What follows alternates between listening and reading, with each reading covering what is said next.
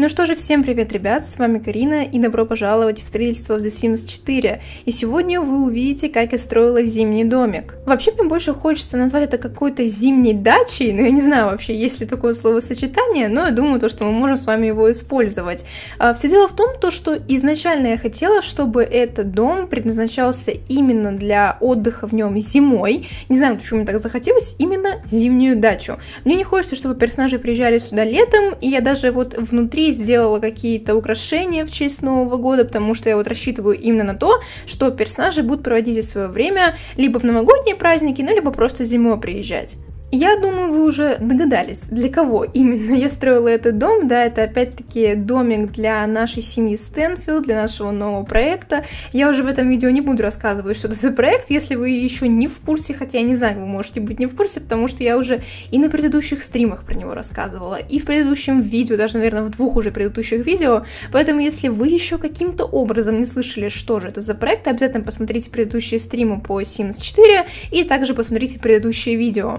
Также в предыдущих видео я говорила вам о том, что сейчас я прям очень часто начала заниматься строительством. Как вы видите, да, у нас опять видео по строительству.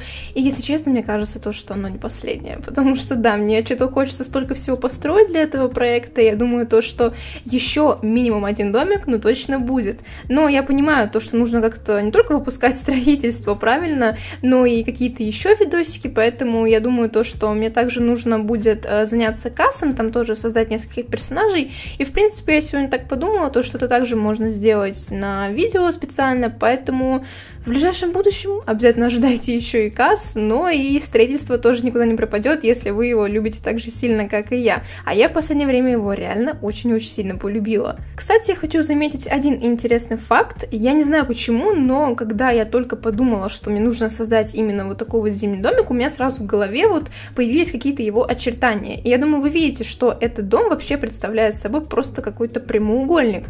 Я вообще, не знаю, последний раз строила какие-то такие прямоугольные или квадратные или дома-коробки, но, наверное, очень давно, то есть в последнее время, если я занимаюсь строительством и что-нибудь строю, то я стараюсь какие-то такие необычные формы придумать, чтобы это не выглядело именно как коробка, а здесь мне захотелось сделать именно такой вот обычный, простой, вытянутый, длинный домик. И на самом деле, мне кажется, то, что получилось очень даже симпатично, несмотря на то, что он вот сам по себе такой достаточно простой по своей форме. Ну а теперь давайте поговорим на самом доме, я расскажу вам, что же у нас здесь с вами вообще есть. Итак, в домике у нас находится одна ванная комната, одна гостевая комната, сейчас объясню, почему она называется гостевой, одна спальня и также, естественно, ну, коридор, гостиная, мини-столовая и кухня. Итак, почему же я назвала одну комнату именно гостевой? Все дело в том, что, если вы еще не знаете, я вам опять-таки расскажу, что в нашей семье Стэнфилд сейчас всего два персонажа. И как бы я подразумеваю то, что они будут приезжать сюда либо вдвоем, либо же они будут брать сюда, например, друзей там или чьих-то родителей, да, но в любом случае, даже если сюда приедет больше, чем 4 персонажа, а дом рассчитан, ну, максимум на 4 персонажей, то есть, да, у нас всего 4 спальных места, то я думаю, то, что если будет больше персонажей, они могут взять с собой спальные мешочки, например, да, у нас же вроде есть спальные мешочки, а может и нет. По-моему, их здесь нет в этой части, что-то это я напутала. Я помню то, что у меня есть доповские спальные мешки, но они, к сожалению, по-моему, не используемые. Но в любом случае, ну, в общем, если можем что-нибудь придумать, там на кого-нибудь на диван уложить, да, но все-таки этот дом рассчитан максимум на четырех человек. Кстати говоря, хотела вам рассказать, что в этом доме у меня есть определенное любимое место, и это место — это зона кухни. Именно сама кухня и также, ну, мини-столовая, я просто не знаю, мне кажется, это не относится как это к столовой, она больше относится к кухне, ну, в общем, ладно, думаю, вы поняли, что я имею в виду. В общем, зона там, где готовят и, соответственно, кушают. Мне она так понравилась, мне очень понравилось, как я ее обустроила, она вот реально выглядит так, как будто здесь реально вот, ну, кто-то проживает зимнее время, и даже на одной тумбочке ссылочке я разместила такую специальную зону готовки, то есть когда наши с вами персонажи будут сюда приезжать, у нас будет создаваться впечатление, что вот реально кто-то на кухне там стоит, готовит. Ну, в общем, это вы потом все увидите, о чем я говорю. Я обязательно объясню вам, про что я говорю, если вы все-таки не увидите, не поймете. Ну, в общем-то, ладно, с этим мы с вами разобрались. Кстати, прошло уже почти 5 минут этого видео, а я так и не рассказала вам об одном интереснейшем событии, которое произошло во время того, как я записывала строительство этого дома.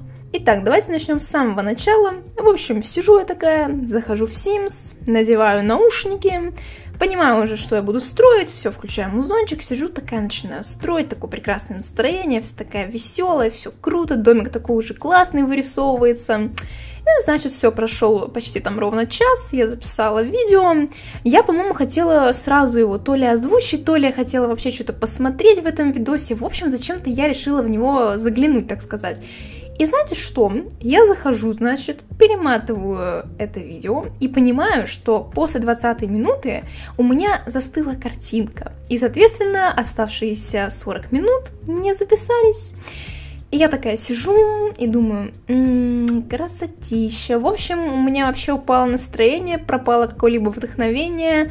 Я вообще, ну, не в первый раз уже сталкиваюсь с такой ситуацией, у меня уже бывало такое несколько раз, правда, это было обычно с кассом. Хотя нет, даже, по-моему, было со строительством. Но я как-то сразу брала себя в руки и продолжала, соответственно, ну, либо что-то обустраивать, что там у меня не записалось, перестраивать, либо вообще все делать заново. Но тут мне было прям очень грустно, потому что мне очень понравилось понравился конечный результат, вообще как вот выглядел в итоге этот дом.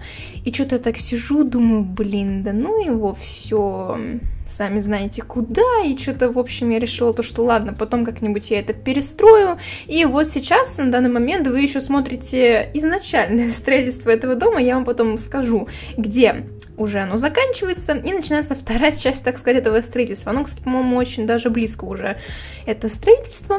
Ну, в общем, вот такая вот немножко грустная ситуация, но все равно я понимала то, что, блин, надо как-то продолжить это строительство, потому что я очень хочу его выпустить, соответственно, домик мне тоже тут очень нравится.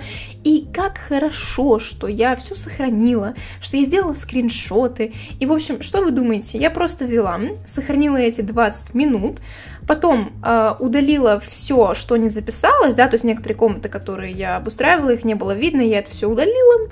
И, соответственно, по скриншотикам пыталась восстановить изначальную картину и попыталась сделать, ну, прям вот максимально похоже на то, что было в изначальном варианте этого дома. Ну и могу вам сказать, что, в принципе, я вот сравнивала первый вариант и сравнивала второй вариант, который вы в итоге и увидите, я вам могу сказать, что особых отличий в принципе нет. Я старалась брать ту же самую мебель, в принципе, все предметы стоят вроде как на тех же самых местах. И, кстати, вот это момент, где я начала уже перезаписывать все это дело. И, кстати говоря, возможно, вы заметили то, что там за окошком пропал снег. Да, я что-то так про это забыла.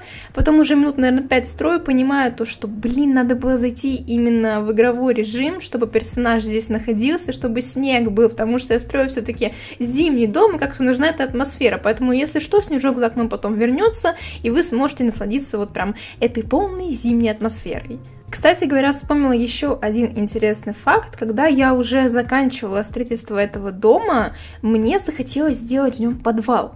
Я такая сижу, думаю, блин, а уже места-то для него нет, лестницу ставить некуда, придется либо все передвигать, либо строить какой-нибудь, не знаю, отдельный там мини-амбар на участке и там ставить лестницу. Потом я поняла, что, блин, а места-то нет на участке даже для этого мини-амбарчика, и мне стало что-то так грустно из-за этого. Я вообще хотела в этом подвале разместить какие-то вещи, например, какие-то настольные игры, что-нибудь, ну вот типа такого хлама, ну как не хлама, а каких-то вещей для развлечения, то есть можно туда спуститься, достать что-нибудь, поставить в доме. Но потом так подумала, что лучше я поставлю коробочки, которые у нас пришли с дополнением экологичной жизни, думаю, вы поняли, о чем я говорю. И, соответственно, пусть все эти вещи хранятся, ну, типа в этих коробках. Конечно, некоторые из них туда, в принципе, просто не поместятся, но не суть, это все-таки игра, да. Мы с вами можем представить, что там это как-то все в разобранном виде лежит, это можно вытащить, собрать и, собственно, наслаждаться там какой-либо настольной игрой, например. Возможно, кому-то из вас будет интересно местоположение этого дома, я решила построить его в Камаребе, и на самом деле изначально я хотела разместить его на месте арендуемого жилья, это которые вот эти вот домишки находятся на горе. Я зашла на эти участки, посмотрела, изначально вообще мне понравилась эта идея, тем более там рядом у нас э, этот, как он называется, эм, в общем, место, где у нас катаются на лыжах, также можно там еще чем-то позаниматься, да, но я понимала то, что, блин, это точно не место для дачи, это вот именно место для какого-то арендуемого арендуемого жилья. Вообще, если честно вам сказать, этот дом тоже будет именно арендуемым жильем, поскольку, ну, вы сами понимаете, то, что мы не можем иметь собственность несколько домов в этой части, к сожалению. А может, я ошибаюсь? Ну, по-моему, нет. Нет, по-моему, точно нельзя. Ладно, в общем, что вы меня поправьте, но если я не путаю ничего, то вроде бы так нельзя. Эта возможность была только в тройке и, по-моему, в двойке. Но в тройке она точно была. В общем, ладно, не об этом, что мы с вами ушли. Так вот, мы, естественно, сюда будем приезжать, как бы снимать этот дом, но для нас и по сюжету это будет типа наша такая зимняя дача, но э, как бы мы с вами прекрасно понимаем, что это не так, поэтому вот такой вот небольшой секретик я вам открою. Ну и как вы понимаете, в конечном итоге я решила все-таки выбрать другое место, потому что то место на горе показалось для меня слишком людным, и как-то для дачи зимней оно ну, вообще никак не подходило, поэтому я разместила нашу дачу в обычном жилом районе. Ну что же, я думаю, что я рассказала вам об этом доме все, что я планировала. И, кстати говоря, если вы обратили внимание на экран, то сейчас я уже начинаю обустраивать кухню. Это сейчас будет просто мой самый любимый момент этого видео, потому что, мне кажется, она получилась настолько вот уютной и создается ощущение, что здесь реально кто-то живет. И это все, кстати говоря, благодаря тому, что я начала пользоваться режимом отладки. Это реально настолько полезная вещь при строительстве. Я не знаю, почему раньше я этим не пользовалась.